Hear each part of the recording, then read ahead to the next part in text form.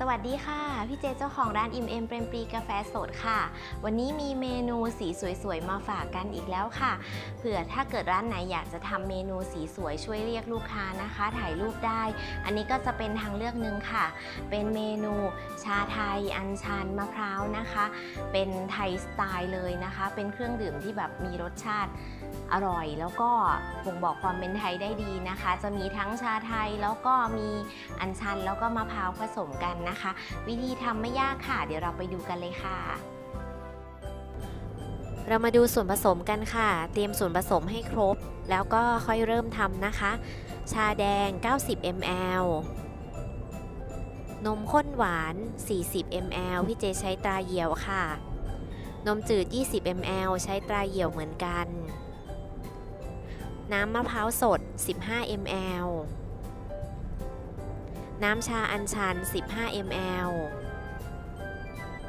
และนมสด 60 ml ค่ะ เรามาเริ่มต้นทำกันเลยค่ะ เริ่มต้นที่เทชาแดง 90 ml ลงในแก้วนะคะ วิธีต้มชาเก็บไว้ใช้อยู่ที่ EP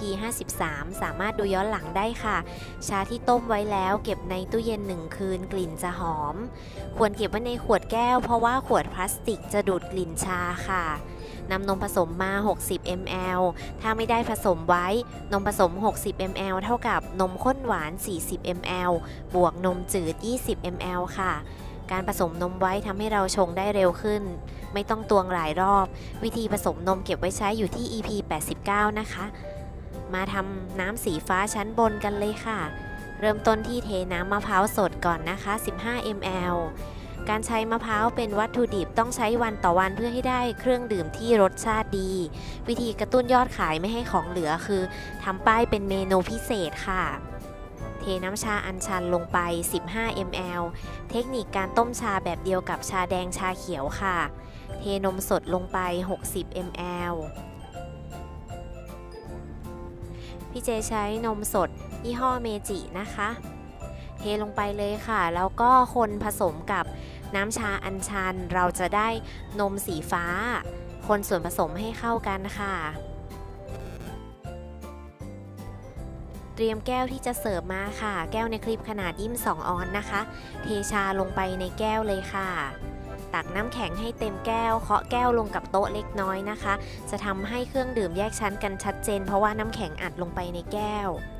นำนมสีฟ้าเทไว้ด้านบนเลยค่ะ เราจะเห็นว่าเครื่องดื่มแยกออกมาเป็น 2 ชั้นสีสวยเลยใช่ไหมคะ ปิดฝาพร้อมเสิร์ฟได้เลยค่ะสำหรับส่วนผสมต้นทุนราคาขายพี่เจวางไว้ให้ใต้คลิปนะคะ ใครอยากให้ทำเมนูไหนคอมเมนต์บอกได้เลยค่ะ ใครสนใจสั่งซื้อหนังสือสูตรชงติดต่อได้ที่ Line แอดอิมเอมค่ะ ขอบคุณค่ะ